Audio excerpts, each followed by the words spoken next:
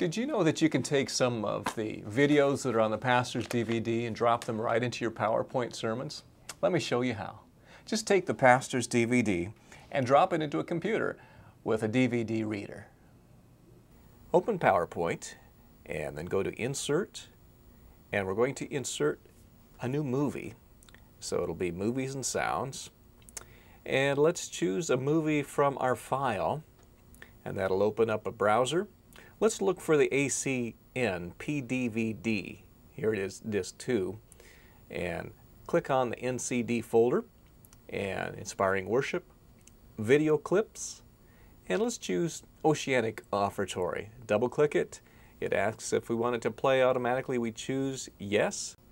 Stretch it out to fill the whole frame because this is uh, MP1. It doesn't uh, play real high resolution, but it will play on most everything. And then let's take a look at it. Let's go ahead and play it.